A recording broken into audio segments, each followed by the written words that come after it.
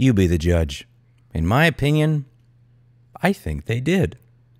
Which is kind of cool. It means the people that work at Texas DPS watch the same cool Saturday morning cartoons I did as a kid. But very, very strangely, uh, very strange coincidence there. Let me know what you think in the comments down below. That's it for today. And as always, I hope you learned something. I'll see you all in the next video. Bye now.